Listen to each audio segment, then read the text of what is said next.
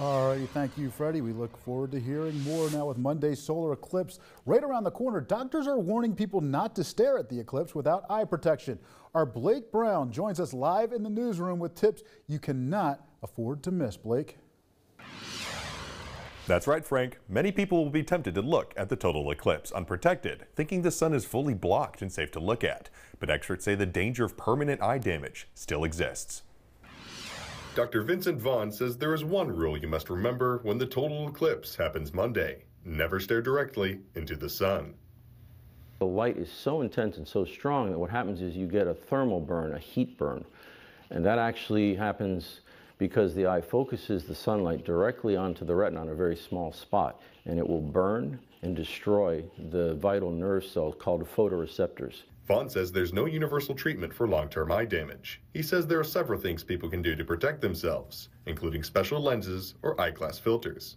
The problem nowadays is there's so many ways to get these filters, almost like sunglasses, that you have to make sure that they are um, meeting the international standard.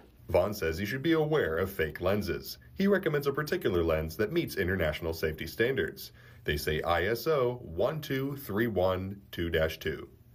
It's safe to remove the eye protection and look straight at the eclipse, but the second that the moon shifts and you see the arc of the sun coming around the moon, you've got to get those goggles back on or safety protection back on. Dr. Vaughn also recommends keeping an eye on your children during the eclipse. Because children don't know better. And so children have to be supervised at all times if you're going to be watching the eclipse with them. If you have special viewers, solar or eclipse viewers for them, make sure they have them on and they don't slip them off and look around them like I'm doing now. The eclipse is set to take place in the valley around 1.30 p.m. on Monday.